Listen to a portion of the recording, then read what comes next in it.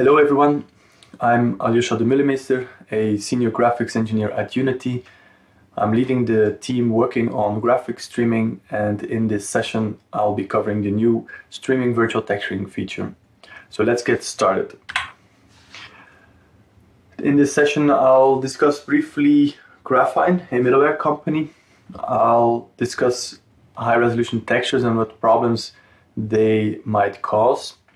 Then we'll dive into what streaming virtual texturing is, when you can use it, how you can use it, and then also what is on our roadmap and some final words to conclude this session. Graphine was a middleware company, so this is the, the R&D team of Graphine. We were a university spin-off that spun out of the founding team's research. So myself here in the center in my white shirt, and Bart and Charles on the left, uh, the founding team. And so we were working the, at the Ghent University on streaming technology, texture creation tools, um, compression formats, and decided to commercialize the technology as a middleware for the gaming industry. That was called Granite SDK, our middleware. And we got acquired in March 2019, and we are now part of Unity Graphics R&D and we are the team focused on anything texture related and anything graphics streaming related. Granite SDK is not new, so we, it was a middleware that was used for video games, virtual reality, augmented reality, high-end video games. So a bunch of titles got shipped, and larger teams work with this. So um, the uh, editor side of the Unity integration got rewritten, so the uh, the workflow is much better, but the runtime is still more or less the same, and so very robust, already tested, quite mature and stable. And so high resolution textures, if you try to use this in your project, you might run into a bunch of issues. And so the main issue is typically memory usage. So if we look at a PBR material that has three 4K textures, then that requires 50 megabytes of video memory. That means for one gigabyte texture budget, we can only have 21 unique 4K PBR materials. For some games, this might be enough, or you could even use lower resolution, but in many cases, you want more, so you want to have more unique materials. And if you use or render for higher resolution screens, then definitely you need high resolution textures, so more texels, because you need something, some detail to, to sample or to show on each screen pixel. Or you might have already high resolution assets like photogrammetry scanned assets, or you're coming from a, another uh, industry where you generated these high resolution assets and you want to bring them into a real time engine, so into Unity. But yeah, you might run out of memory. So you might have on your high-end development machine more video memory, but maybe your target users don't have more memory. So you need a solution for that, and that solution is texture streaming. Now, streaming virtual texturing is a texture streaming solution. It's a fine-grained, quite advanced solution. And in virtual texturing, what we're going to do is we're going to take the texture data the UV space and we're going to divide that into very small tiles that are typically 128 by 128 texels. And we're going to divide the entire MIP stack and then we are going to stream only those tiles that are actually sampled or visible. So that means we don't need to keep an entire MIP map into memory.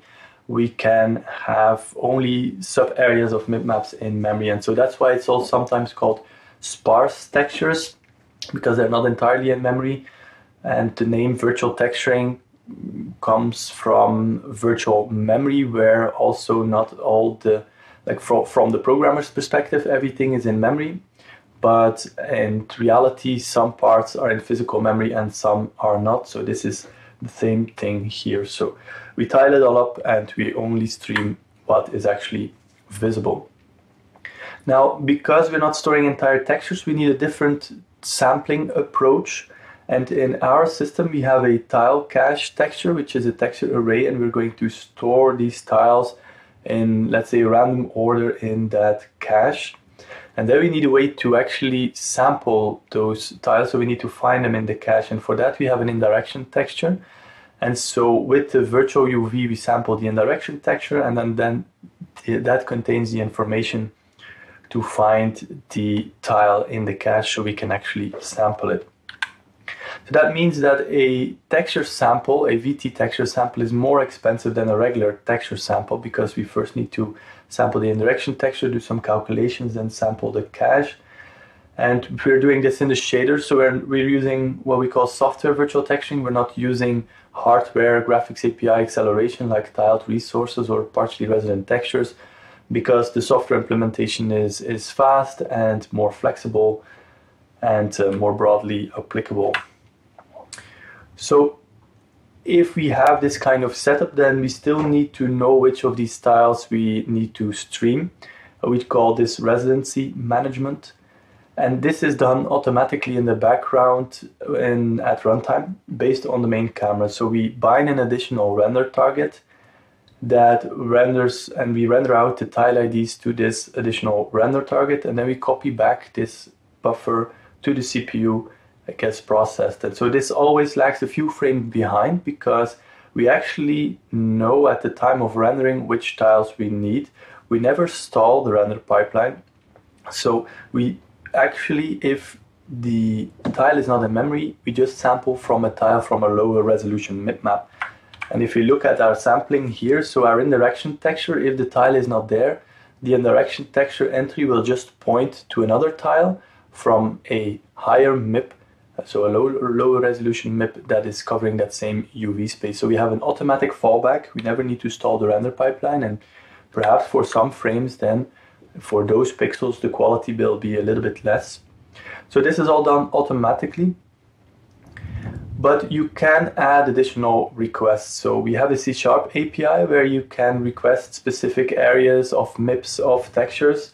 And this is very helpful for prefetching. So sometimes you know in advance that some things will be will be needed if you have a camera warp or camera cut or something like that. Uh, or you just want to keep some low res data always in memory to avoid any potential streaming artifacts. So you can build this on top of our C Sharp API. And the thing to know is that there, there is no direct management. So every frame you keep telling the system, hey, I think this is important, this is what I want in the cache, and the system will try to do its best, but there are no guarantees. It's a best effort thing. There might not be enough memory or there might be contention. So it, it will do its best, but you cannot count on things to be immediately in in memory, and it depends on your your the speed of your disk and some, some other variables. And so here's kind of a, an overview of the flow. So every frame we render to our tile ID render target, we copy this back. This gets processed by some code, let's call it the cache manager, that then translates this into read request to the disk. From the disk, we read pages, which are larger than tiles for, for efficient throughput. And then these pages get stored in a CPU cache that you can configure. And out of that CPU cache, we uh, extract tiles that are then copied to the GPU cache and that uh, once they are there can actually be used for rendering. So here you see a scene set up with, with virtual texturing. You see these cubes, they each have a 3, 3K, 3, 4K textures. And so once the camera starts moving, every frame, some tiles, some new tiles become visible. And so you can see not the entire textures, the entire maps need to be loaded of those cubes. Only certain areas of those cubes are visible. And here you can see our debug view that shows the, the tiles and the color of the tile borders represent the map from where the tile uh, originates. And so you can see if the camera speeds up, every frame more of these tiles are visible. And here I flush the cache. If I toggle the debug view, and so you can see it because the camera is moving, it takes some time to catch up, but everything was removed from the cache and reloaded. And so this is the, the, the magic of streaming virtual texturing that these these textures don't need to be entirely loaded. Only the parts that were facing the camera that were actually visible by the camera need to be loaded, and that's the main advantage compared to mipmap streaming. So in mipmap streaming, you're going to load entire mipmaps. So both are good for large open worlds. They allow you to use more data in your scene than you have memory. But streaming virtual texturing shines if you have dense scenes or if you have really high resolution textures. And so we can explain it with this slide where on the left side we have a camera that sees four cubes. Let's let's assume they each have one 4K texture. So these four cubes are close to the camera. These 4Ks need to be loaded. And so 4Ks, four 4K textures are in memory. If we look at the right side with streaming virtual texturing, we could have eight of these objects and only the parts of these objects that are actually visible need to be loaded in memory. So we can have denser scenes with more objects close to the camera um, and even then use less memory than with mipmap streaming. Now, streaming virtual texturing is obviously great, but it's not the answer for every problem. So it is a texture optimization technique, but it comes at the expense of performance. As I mentioned before, you have the VT sampling, there's some additional components running, uh, analyzation, etc. So there are CPU cycles and GPU cycles that are spent on running the system. So apply it wisely. Now, when do you not use streaming virtual texturing? Well, obviously, if you don't have high resolution textures, it does not make sense so if you only have textures that are lower than 1K, perhaps 1K, then it might not make sense for your use case. Also, you need to have some performance budget, some frame budget, so it will take 1 to 3 ms per frame running this system. So you need to have a budget for that. And if you're already, if your frame rate is already too low, then this might not be the memory optimization technique that you need. Also, you need to have some texture memory budget. Uh, let's say 250 megabytes. You, if you have only a few textures, it might actually increase memory usage if you apply streaming virtual texturing. We have a fixed size cache that is relatively independent of the content you have in your in your scene. It depends more on your screen resolution. So there's like a, a minimum amount of of texture budget you need. So it, it's not always ideal to reduce memory usage. That's the bottom line here. You need to have some memory that you can allocate on uh, on textures and texture streaming. And then also, if only a very small subset of textures qualifies to use with streaming VT, so if only a few of these textures would be sometimes in view that use VT, you might not want to pay the cost of running streaming VT every frame uh, and in your project, so it, it might not make sense. So the thing you can do is then reduce the amount of textures, downscale them, uh, or use mipmap streaming. Now, which textures do you use streaming on? Well, if they are always visible throughout the entire game or, or scene, then you don't need to apply streaming. That's not, it doesn't make sense. It will always be in memory. If they are low resolution or an entire mipmap is always visible, then use mipmap streaming. And then if they are really high resolution, if they are not always visible and not entirely visible, so for example, a camera face, uh, a character facing the camera, its back its backside is not visible. The character will be not always seen in view. So this, these are great candidates, and only if it's only sampled once in your shader because if you sample a texture, let's say a noise texture, many times in your shader, then for each VT sample you're paying a certain cost, so then it might not make sense to use VT for that texture. So these are some general rules. There are always exceptions, um, but to keep this in uh, in mind. Now, how do you set up streaming virtual texturing in your project? Well, an important the, the main thing here is that you need to add a node to your shader graph and you need to replace your texture samples with VT samples. And the thing here that will be strange is that a virtual texture property has something new which we call layers. And these layers are basically textures. They will be exposed in the material uh, editor or material inspector as textures. But this is a way, a performance optimization technique in, in VT in a way to minimize the cost of your VT sample, where if you have one VT property with three layers, that will be less expensive than three VT properties with one layer.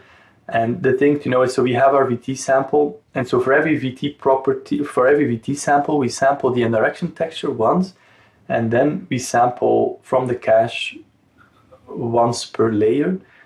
If you have independent VT samples, then you will have independent indirection texture samples. So you, instead of having only one indirection texture sample and three cache samples, you will have three indirection texture samples and three cache samples. Um, so it's something to keep in, in mind. And if something is not set up right in the material, then you will get a VT error material you see here on the right uh, instead of like a, a, nicely rendered material with, um, in this case, the tiling debug view on. So if we jump into an existing project and we want to see how we convert it, then, well, first we need to make sure VT is on in the player settings. It is a project-wide setting, so it's not toggleable per player. And so here you can see it's already set up. The, um, the cubes surrounding this one already have VT, and this one doesn't because the debug view is not shown on it. And so we see we have two texture samples, and we need to convert those to one VT sample. So if we want to upgrade this material, we need to use the same references. So automatically all the materials will, all the textures that are assigned will be kept. So here we add a VT property, we add a VT sample for that. Uh, the default is that it has two layers, which is ideal here. We could add up to four layers. And so the first one will be our base color map, and the second one will be our normal map.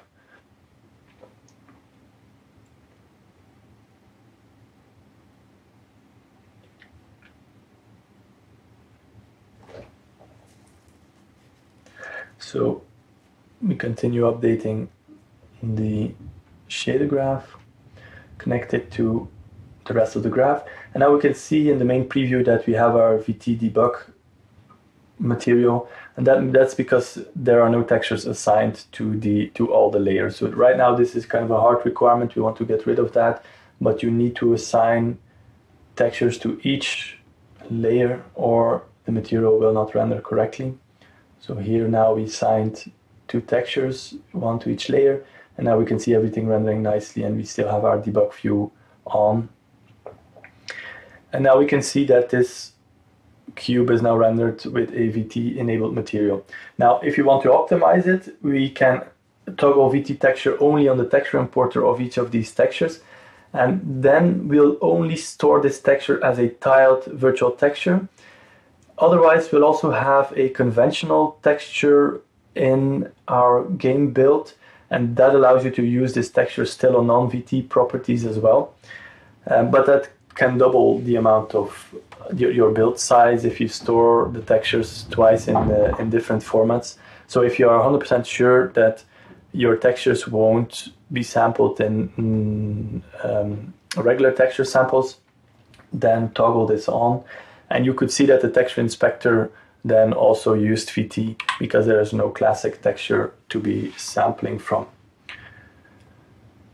Now in a texture streaming system, cache management is really important. How do you set your cache and how large do you set your cache? And here again, there's something a bit unconventional. We have a cache per texture format. And that is because our cache is nothing more than a texture array and so we just need to allocate this, the set the size of each texture array where we can stream tiles into. So you configure this per format. That doesn't mean that they will be created. They will only be created once a material is rendered with that is using that format, a, a streaming um, a material that is using streaming virtual texturing, obviously. And so then these caches will be created and we want to have an optimal size for each cache and the optimal size is basically the minimum size that still gives you the best quality and you could set it higher you can set it larger and then we can cache more data but it won't impact the quality one thing to note is that yeah destroying and creating these large texture arrays it can take some time, so it's a bit expensive. Don't do this during regular gameplay, uh, or you might have long frames and, and some stutter. Do this uh, during some specific quality setting um, time. Now, in our system, you can set a certain cache size, and perhaps that size is too small for what the system would want to have in memory. And then we'll actually monitor the cache and monitor if the cache is not overused to protect it against cache thrashing. So once a cache is, once the current frame requires more tiles in memory than two thirds of a cache, then we will set the mipmap bias and this will be set automatically. And so the bias will increase, which means we will sample from higher MIPS, which means less tiles will be requested and the texture quality will be reduced. And so we increase the bias to guarantee that we use only a maximum of two thirds of the cache for this current frame. Now, if you set the cache low, lower than the optimal size, obviously this will re result in lower quality. And uh, this is something to keep in, in mind. Now, it's not always straightforward what size you best use or what is the optimal size. So we have our VT profiler that can guide you. And so this profiler shows you how many tiles that are in view currently, how um, many that are missing from the cache, how many data that will be read and is read from disk. And it also shows you which caches are created at that time for which texture format and how much they are used. We call it cache demand. So that's what, what we what the current frame would require of that cache. So here we see a usage of 23%, which is great. Um, if once the usage would be 66%, the mip bias would kick in, and we would see here a mip bias that is greater than zero, which means that actually the current frame tries requires more cache than you have actually allocated. So if you want to find the optimal cache size, then you might want to do a player capture and log all these cache demands and the maximum of these, and that gives you a good indication of how much um, how large this cache needs to be for the optimal size. Now currently streaming virtual texturing is only available for the HDRP render pipeline. The bulk of the feature of the code lives in core Unity but it needs some customization of um, NSRP. So we have in Shader Graph the additional nodes and we need to bind the additional render target. So right now it's HDRP only, and there's still a number of limitations that we want to uh, that we want to remove. And so HDRP only means also it's only available for the platforms that HDRP is available. So PC, high-end consoles. Now, on our roadmap, the most important thing for Streaming VT is to add asset bundle support because right now, if a material is using VT, if you put that material in an asset bundle, you won't have any texture data. So you cannot store these materials in an asset bundle, and this is something we would like to support, and then potentially also, or definitely also store the tiled texture data in the asset bundle together with the VT material. This is something we're working on right now. It's quite important for some use cases. And then also support for the universal render pipeline. This is definitely really important and we want to bring streaming virtual texturing to this pipeline as well. And probably in a later phase to all the different platforms that URP supports and for which streaming VT makes sense. Because again, it's it does require some cycles, it's it's not free. So on very low end platforms, we won't support streaming virtual texturing. So that brings us to the end of this presentation. We already have a public sample project that you can try out. You can download it. We posted it on our forum where we are also collecting uh, feedback. So please try it out and tell us what you think. There are already a page or pages in the online Unity manual that you can look for more information.